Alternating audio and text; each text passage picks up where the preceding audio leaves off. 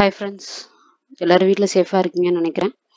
So இன்னைக்கு வந்து நம்ம இந்த வீடியோவில் என்ன பார்க்க போகிறோம் அப்படின்னா என்னோட ப்ரீவியஸ் வீடியோவில் சிஆர்எஸ் ஸ்கோர்னா என்ன அதை எப்படி வந்து கனடாவில் கேல்குலேட் பண்ணுறாங்க அந்த ரேங்கிங் சிஸ்டம் பற்றிலாம் டீட்டெயில்டாக பார்த்தோம். ஸோ இப்போ இந்த வீடியோவில் லைவாக நான் ஒரு ப்ரொஃபைல் இப்போ உங்களோட ப்ரொஃபைல் யார் ப்ரைமரி அப்ளிகன் செகண்டரி அப்ளிகன் அதாவது ஃபேமிலியாக போகிறோன்னா ஹஸ்பண்ட் அண்ட் ஒய்ஃப் ஸோ அவங்களுக்கு கம்பைண்டாக வந்து மேரிட் அப்படின்னா அவங்களுக்கு எப்படி கால்குலேட் பண்ணுறது அப்படின்றத நம்ம பார்க்கலாம் இந்த வீடியோவில் ஸோ அதுக்கு எந்த வெப்சைட்டில் பார்க்கணும் அப்படின்னு சொன்னேன். ஸோ ஜஸ்ட்டு நீங்கள் கூகுளில் போயிட்டு சிஆர்எஸ் ஸ்கோர் கேல்குலேட்டர் அப்படின்னு கொடுத்துருக்கேன். கொடுத்தீங்கன்னா ஃபர்ஸ்ட்டு ஓப்பன் ஆகிற லிங்கே பார்த்தீங்கன்னா W W dot CIC GC dot சிஏன்னு இருக்கும். இது கனடாவோட கவர்மெண்ட் வெப்சைட் ஸோ மேலே பார்த்தீங்கன்னா கவர்மெண்ட் ஆஃப் கனடான்னு இருக்கும். ஸோ இதில் பேசிக்காக சிஆர்எஸ் டூல்னால் என்ன? ஸ்கில்டு இமிகிரன்ஸ்க்காக என்னென்ன என்னென்ன க்ரைட்டீரியாலாம் பார்க்குறாங்க இதெல்லாம். ஸோ இதுதான் நம்ம ஆல்ரெடி வந்து நம்ம லாஸ்ட் பிபிடியில் டீட்டெயில்டாக எக்ஸ்பிளைன் பண்ணியிருந்தேன். ஸோ இப்போ இதில் வந்து நம்ம டேரெக்டாக சிஆர்எஸ் ஸ்கோர் கால்குலேட் பண்ணிடலாம். ஸோ இந்த பேஜில் லாஸ்ட்டில் பார்த்தீங்கன்னா ஃபர்ஸ்ட் ஒரு கொஷின் கேட்டிருப்பாங்க. What is your marital status அப்படின்னு கேட்டிருப்பாங்க. ஸோ இதில் வந்து நீங்கள் சூஸ் பண்ணிக்கோங்க. ஸோ இதில் வந்து நீங்கள் மேரிட்னா மேரிட் மே சிங்கிள்னா சிங்கிள் அது மாதிரி நீங்கள் என்ன உங்களுக்கு என்ன க்ரைட்டீரியா வருதோ அதை நீங்கள் சூஸ் பண்ணிக்கோங்க. இப்போ நான் ஜஸ்ட் ஒரு ஃபேமிலி ஹஸ்பண்ட் அண்ட் ஒய்ஃபாக நீங்கள் உங்கள் கிட்ஸோடு அங்கே செட்டில் ஆக போகிறீங்க அப்படின்னா நான் ஒரு ஃபேமிலி பிஆர் அப்ளை பண்ணுறவங்களுக்கு அவங்களோட சிஆர்எஸ் ஸ்கோர் என்ன அப்படின்றத பார்க்கலாம். ஸோ மேரிட் அப்படின்னு நான் சூஸ் பண்ணிட்டேன். So is your spouse or common law partner a citizen or permanent resident of Canada so உங்களோட ஸ்பவுஸோ இல்லை வந்து உங்களோட பார்ட்னர் வந்து கனடாவில் சிட்டிசனாவோ பெர்மனன்ட் ரெசிடென்ட்டாவோ இருக்காங்களான்னு கேட்டிருக்காங்க. ஸோ இந்த கொஷின் எதுக்கு அப்படின்னா ஒருவேளை உங்களோட ஹஸ்பண்டோ இல்லை உங்கள் ஒய்ஃபோ வந்து கனடாவில் வந்து பெர்மனன்ட் ரெசிடென்ஸ் அப்ளை பண்ணி வாங்கியிருந்தாங்கன்னா நீங்கள் அடுத்து நீங்கள் அப்ளை பண்ணி நீங்கள் செப்பரேட்டாக அப்ளை பண்ணி போகிறது ஈஸி ஸோ அதனால் அந்த பாசிபிலிட்டி இருக்கா அப்படின்றதுக்காக தான் கேட்டிருக்காங்க. ஸோ இது வந்து நோ கொடுத்துருங்க. இப்போ நம்ம இப்போ தான் ஃபர்ஸ்ட் டைம் அப்ளை பண்ண போகிறோம்னா இது நோ தான் வரும் இந்த criteria will your spouse or common law partner come with you to Canada so நம்ம ஃபேமிலியாக அங்கே போக போகிறோமா அவங்க ஸ்பௌஸும் வராங்களான்னு கேட்டிருக்காங்க. ஸோ கண்டிப்பாக நம்ம ஃபேமிலியாக தான் போவோம். Yes how old are you if you have been invited to apply enter your age on date you are invited so இப்போ இதில் எதுக்கு இதை வந்து டீட்டெயில் கேட்டிருக்காங்க அப்படின்னா நீங்கள் வந்து ஐஎல்டிஎஸ் எக்ஸாம் முடிச்சிட்டீங்க பெஸ்ட் ப்ராசஸ் முடிச்சிட்டீங்க அப்படின்னா நீங்கள் எக்ஸ்பிரஸ் என்ட்ரி ப்ரொஃபைல் வந்து நீங்கள் இப்போ கம்ப்ளீட் பண்ணிடுவீங்க ஸோ இதான் மெயின் ஸோ இந்த எக்ஸ்பிரஸ் என்ட்ரி ப்ரொஃபைல் நீங்கள் கம்ப்ளீட் பண்ணுற டைமாக இருந்துச்சுன்னா நீங்கள் உங்களோட கரண்ட் ஏஜை நீங்கள் இதில் கொடுத்துடலாம். இல்லை நான் என்ன எதுவுமே ஸ்டார்ட் பண்ணல பெஸ்ட் ப்ராசஸ் ஸ்டார்ட் பண்ணல ஐஎல்டிஎஸ் கிளியர் பண்ணலன்னா it will take six months அது ஆகும் உங்களுக்கு கம்ப்ளீட் பண்ணுறதுக்கு ஸோ அதனால ஒன் ஏஜ் நம்ம கூட கொடுத்துக்கலாம். ஸோ இல்லை நான் கம்ப்ளீட் பண்ணிட்டேன் எல்லாமே பண்ணிட்டேன் அப்படின்னா நீங்கள் டேரெக்டாகவே இதில் கொடுத்துக்கலாம். ஃபார் எக்ஸாம்பிள் இதில் தேர்ட்டி இயர்ஸ் ஆஃப் ஏஜ் அப்படின்னு நான் கொடுக்குறேன். What is your level of education அப்படின்னு சொல்லி கேட்டிருக்காங்க. So enter the highest level of education for which you are earned a Canadian degree or diploma இல்லைனா ஹேட் அ இசிஏ ஸோ அதுதான் நம்ம பண்ணியிருப்போம். ஸோ அவுட் சைட் கனடாவில் படித்தா எல்லாருக்கும் இசிஏ ரிப்போர்ட் இருக்கும். ஸோ அதுபடி நம்ம என்ன நம்மளோட ஹையஸ்ட் டிகிரி அப்படின்னு பார்க்கலாம். ஸோ இப்போ வந்து ஒரு பேசிக்காகவே வச்சுக்கலாம். ஒரு பேச்சுலர் டிகிரி முடித்த மாதிரியே வச்சுக்கலாம். Bachelor degree primary applicant complete பண்ணி ஒரு பிஇ ஒரு இதை கம்ப்ளீட் பிகாம் ஏதாவது கம்ப்ளீட் பண்ணிட்டு இருக்க மாதிரி. So have you earn a Canadian degree diploma certificate அப்படின்னு கேட்டிருக்காங்க. ஸோ நீங்கள் ஆல்ரெடி அங்கே படிச்சிருந்தீங்க அப்படின்னா எஸ் கொடுங்க. இல்லை அப்படின்னா நோ கொடுங்க. நீங்கள் அங்கே படிச்சிருந்தீங்கன்னா அதுக்கு மூணு க்ரை நாலு பாயிண்ட்ஸ் கொடுத்துருக்காங்க. ஸோ அதை படிச்சுக்கோங்க. அதாவது அதுக்கு ஒரு டியூரேஷன் இருக்கும். நீங்கள் அட்லீஸ்ட் எயிட் மந்த்ஸ் அங்கே கண்டினியூஸாக படிச்சிருந்துருக்கணும். ஃபிசிக்கலி ப்ரெசண்ட்டாக இருக்கணும். அதுவும் இல்லாமல் கெனடாக்குள்ளே இருக்கிற அங்கே இருக்கிற காலேஜ்குள்ளே நீங்கள் படிச்சிருக்கணும். ஸோ அந்த மாதிரி அந்த டீட்டெயில்ஸ்லாம் இருக்குது ஸோ அதை நீங்கள் செக் பண்ணிக்கோங்க. இல்லை நீங்கள் கனடாவில் படிக்கலைன்னா ஜஸ்ட் நோ கொடுத்துருங்க. ஸோ தென் அஃபிஷியல் லாங்குவேஜஸில் கனடாவோட அஃபிஷியல் லாங்குவேஜ் பார்த்தீங்கன்னா இங்கிலீஷ் அண்ட் ஃப்ரெஞ்சு ஸோ இப்போ இதில் வந்து என்னென்னா உங்களோட டெஸ்ட் ரிசல்ட் வந்து லெஸ் தென் டூ இயர்ஸான்னு கேட்டிருக்காங்க. ஏன் அப்படின்னா நம்ம ஐஎல்டிஎஸ் ஸ்கோர் வந்து பார்த்தீங்கன்னா valid for only two years so அதனால் அதுக்காக கேட்டிருக்காங்க. ஸோ இது வந்து எஸ் கொடுத்துருங்க. இப்போ நீங்கள் ரீசெண்டாக இருந்தீங்கன்னா இல்லை நீங்கள் டூ இயர்ஸ் இன்னும் கம்ப்ளீட் ஆகலைன்னா எஸ் கொடுத்துடலாம். Which language test did you take for your first official language அப்படின்னு கேட்டிருக்காங்க. ஸோ நம்ம மோஸ்ட்லி ஐஎல்டிஎஸ் தான் சொல்லுவோம். இந்த செல்ஃப் பிப்புன்றது கனடாவில் இருக்கவங்க எழுதுறது. என்டர் யுவர் டெஸ்ட் ஸ்கோர் நான் வந்து இப்போ ஒரு அப்ராக்சிமேட்டாக வந்து நான் ஒரு ஸ்கோர் கொடுக்குறேன். இதுக்கு seven listening eight reading seven writing okay writing seven yeah so இது அப்ராக்சிமேட்டாக கொடுக்குறேன். நீங்கள் உங்களோட ஸ்கோரை கொடுத்துக்கோங்க இதில் then do you have other language result அப்படின்னு கேட்டிருக்காங்க. அப்போ அதர் லாங்குவேஜ்னால் செகண்ட் அஃபிஷியல் லாங்குவேஜ் ஃப்ரெஞ்சை கேட்குறாங்க. ஸோ நீங்கள் ஒரு வேளை ஃப்ரெஞ்ச் படிச்சிருந்தீங்கன்னா அது கொடுங்க. இல்லை படிக்கல அப்படின்னா நாட் அப்ளிகபிள் கொடுத்துருங்க. நெக்ஸ்ட்டு ஒர்க் எக்ஸ்பீரியன்ஸ் இந்த last ten years how many years of skilled work experience in Canada so கெனடாவில் நீங்கள் எத்தனை வருஷம் வேலை பார்த்துருக்கீங்க அப்படின்னு கேட்டிருக்காங்க. ஸோ அதுக்கு என்ஓசி கோடுன்னு இருக்குது ஸோ நேஷ்னல் ஆக்குபேஷனல் கோட் அப்படின்னு இருக்குது கெனடா இதில். ஸோ இதில் வந்து நம்மளோட ஒவ்வொரு ஜாப் கேட்டகரிக்கும் எந்த ஸ்கில் டைப் அப்படின்ட்டு இருக்கும். ஸோ நான் இன்னொரு வீடியோவில் வந்து இந்த என்ஓசி கோட் பற்றி நான் டீட்டெயில்டாக சொல்கிறேன் என்னென்ன ஜாப்ஸ்க்கு என்னென்ன கோட்ஸ் வரும் அப்படின்றத.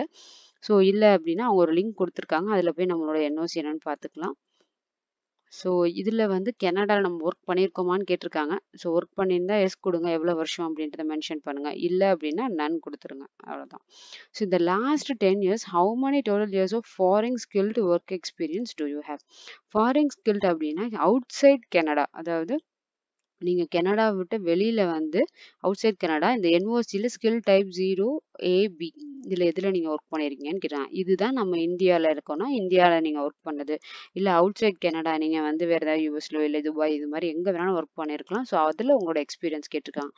இப்போ வந்து அபோவ் கண்டிப்பாக ஒரு த்ரீ இயர்ஸ் அபோவ் இருக்குன்னா த்ரீ இயர்ஸ் ஆர் மோர் அப்படின்னு கொடுத்துக்கலாம். Do have a certificate of qualification from a Canadian province or territory அதாவது உங்களோட குவாலிஃபிகேஷன் பீப் உங்களோட ஸ்கில் வந்து ஏதாவது ஒரு ப்ராவின்ஸில் வந்து நீட் இருக்கு அந்த மாதிரி அசஸ் பண்ணி நாமினேட் பண்ணியிருக்காங்களா அப்படின்னு கேட்டிருக்காங்க. இது வந்து நோ கொடுத்துருங்க. நெக்ஸ்ட்டு இது அடிஷ்னல் பாயிண்ட்ஸ். ஸோ இந்த சர்டிஃபிகேட் ஆஃப் குவாலிஃபிகேஷன் என்ன அப்படின்னா கனடா இதில் இருக்கிற ஏதாவது ஒரு ப்ராவின்ஸ் ஆர் டெரிட்டரி இது வந்து ப்ரொவிஷனல் நாமினேஷன் மாதிரி கிடையாது. This is in the same as nomination from province or territory இது வந்து பிஎன்பி மாதிரி கிடையாது. To get one a person must have assess their training or trade trade experience ஏதாவது நீங்கள் ஒரு சர்டிஃபிகேட் ப்ரோக்ராமோ ஏதோ உங்களோட ஸ்கில்லை வந்து அவங்க வந்து அசஸ் பண்ணி ஒரு சர்டிஃபிகேட் ப்ரோக்ராம் மாதிரி நீங்கள் கனடாவில் பண்ணியிருக்கீங்களா அப்படின்றதான் கேட்டிருக்காங்க. இப்படி பண்ணியிருந்தீங்கன்னா எஸ் கொடுங்க இல்லைன்னா நோ கொடுத்துருங்க. நெக்ஸ்ட் அடிஷ்னல் பாயிண்ட்ஸ் என்னென்ன அப்படின்னு பார்க்கலாம். You have a value job offer supported by எல்எம்ஐஎஸ்ன்னு சொல்லுவாங்க. ஷார்ட்டாக labour market impact assessment so ஏதாவது ஃபுல் டைமாவோ இல்லை வேறு ஏதாவது நம்ம வந்து அங்கே ஜாப் இருக்கா நமக்கு அப்படின்னு கேட்டிருக்காங்க. ஸோ இல்லை அப்படின்னா நோ கொடுத்துருங்க. ஸோ நம்ம இங்கே இந்தியாவில் இருந்துட்டு கனடாவில் ஜாப் தேடுறது ரொம்ப கஷ்டம். Do you have a nomination certificate from a province or territory இதுதான் நம்ம பிஎன்பி ப்ரோக்ராம்னு இருக்குல்ல? ஸோ அந்த ப்ரோக்ராமுக்கு நமக்கு நாமினேஷன் இருக்கா அப்படின்னு ப்ராவின்ஸ் நாமினேஷன் இருக்கா அப்படின்னு கேட்டிருக்காங்க. நீங்கள் நாமினேஷன் ப்ரோக்ராமில் போனால் உங்களுக்கு பாயிண்ட்ஸ் இன்னும் இன்க்ரீஸ் ஆகும். இல்லை நீங்கள் எக்ஸ்பிரஸ் இப்போ நான் பண்ணுறது எக்ஸ்பிரஸ் என்ட்ரி ப்ரொஃபைலுக்கு தான். டைரக்ட் எக்ஸ்பிரஸ் என்ட்ரி பூலுக்கு போகிறதுக்கு ஸோ இதில் நான் நோ கொடுத்துட்றேன் next do you or your spouse common law partner if they will come with you to Canada have at least one brother or sister living in கனடான்னு சொல்லியிருக்காங்க. உங்களோட பிரதரோ சிஸ்டரோ கெனடாவில் சிட்டிசனாவோ இல்லை permanent ரெசிடென்ட்டாவோ இருக்காங்களான்னு கேட்டிருக்காங்க.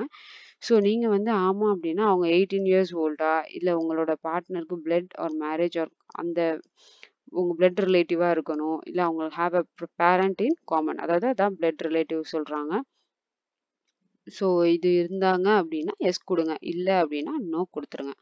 Next what is the highest level of education for which your spouse or common law has so இது வந்து என்னன்னா இப்போ இவ்வளோ நேரம் நம்ம பண்ணிட்டு இருந்த பிரைமரி அப்ளிகன்ட் ரிலேட்டடாகவே இருந்திருக்கும். இப்போ நம்ம நெக்ஸ்ட் பார்க்க போகிறது ஸ்பவுஸோடது ஸோ உங்களோட செகண்டரி அப்ளிகன் இப்போ ஹஸ்பண்டோடது தான் எல்லா டீட்டெயில் கொடுத்துருந்தோம்னா இப்போ அடுத்து ஒய்ஃபோட டீட்டெயில்ஸ் எல்லாமே இதில் கொடுத்துருவோம். ஸோ அவங்களோட ஹையஸ்ட் டிகிரி என்ன அப்படின்னு கேட்டிருக்காங்க ஃபார் எக்ஸாம்பிள் உங்கள் ஒய்ஃப் வந்து பேச்சுலர் டிகிரி இல்லை ஒரு மாஸ்டர்ஸ் டிகிரி முடிச்சிருந்தாங்கன்னா மாஸ்டர் டிகிரின்னு கொடுங்க. இந்த last ten years how many years of skilled experience in Canada so இப்போ உங்களோட ஒய்ஃப் மேபி ஏதாவது ஒரு சாஃப்ட்வேர் ஃபீல்டில் இருந்து அவங்க கனடாவில் வந்து ஒர்க் பண்ணியிருந்திருக்கலாம். ஸோ அது மாதிரி அவங்க கனடாவில் ஒர்க் பண்ணியிருந்தாங்க அப்படின்னா அவங்களோட எக்ஸ்பீரியன்ஸ் கொடுங்க. இல்லை அப்படின்னா none or less then year கொடுத்துருங்க. டிட் யுவர் ஸ்பவுஸ் ஆர் காமன்லாம் பண்ண டேக் எ லாங்குவேஜ் டெஸ்ட் ஓகேவா லாங்குவேஜ் டெஸ்ட்னா இப்போ இங்கிலீஷில் ஐஎல்டிஎஸ் எக்ஸாம் ஸோ நீங்களும் ஐஎல்டிஎஸ் எக்ஸாம் எழுதலாம் ஒய்ஃப் எழுதலாம். இந்த வெஸ்ட் ப்ராசஸுமே வந்து ஹஸ்பண்ட் ஒய்ஃப் ரெண்டு பேருமே பண்ணுங்க. ஏன்னா கண்டிப்பாக ஸ்கோர் இன்க்ரீஸ் ஆகும். ஸோ நீங்கள் ஃபேமிலியாக தான் நீங்கள் வந்து கனடா போக போகிறீங்கன்னு நினச்சிங்கன்னா நீங்கள் கண்டிப்பாக ஒய்ஃப் அண்ட் ஹஸ்பண்ட் ரெண்டு பேருமே வெஸ்ட் ப்ராசஸ்க்கு அப்ளை பண்ணுங்கள் தென் ஐஎல்டிஎஸ் எக்ஸாம் ரெண்டு பேருமே எழுதுங்க. It will help to increase the CRS score so next இதில் அப்ராக்சிமேட்டாக நான் அதே மாதிரி ஒரு ஸ்கோர் போடுறேன்.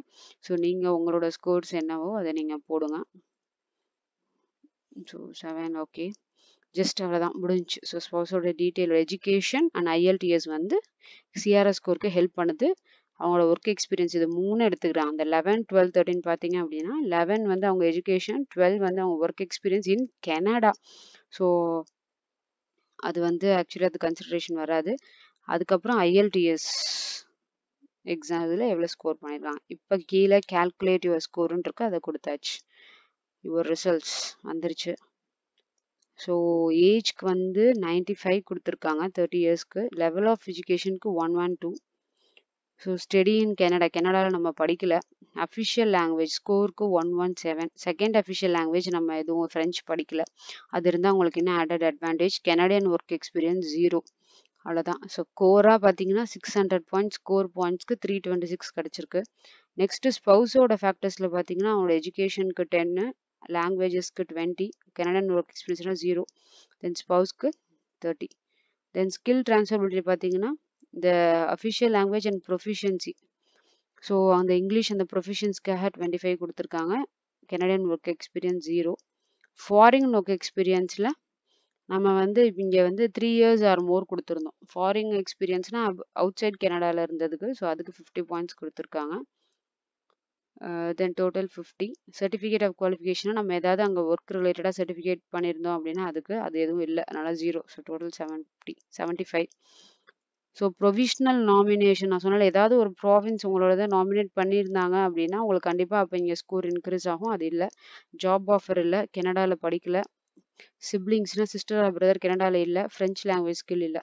இதில் உங்களுக்கு ஏதாவது ஒரு ஸ்கில்ஸ் அடிஷ்னலாக இருந்துச்சுன்னா உங்களோட ஸ்கோர் இன்க்ரீஸ் ஆகும். ஸோ டோட்டலாக வந்து பார்த்தீங்க அப்படின்னா நம்மளோட CRS score four thirty one நான் பேசிக்காக ஒரு ஜென்ரலாக ஒரு ஃபேமிலியிலேருந்து எடுத்திருக்கேன். ஒரு ஹஸ்பண்ட் இருக்காரு அவர் ஒரு மாஸ்டர் டிகிரியோ யூஜி பண்ணியிருக்காரு ஒய்ஃப் இருக்காங்க அவங்க ஐஎல் டிஎல்ஸ் எழுதுகிறோம் வெஸ்ட் ப்ராசஸ் கிரியேட் ஆகுதுன்னா பேசிக்காக இது ஒரு ஆவரேஜ் ஸ்கோர் நமக்கு ஃபோர் தேர்ட்டி ஒன் கிடைக்கும்.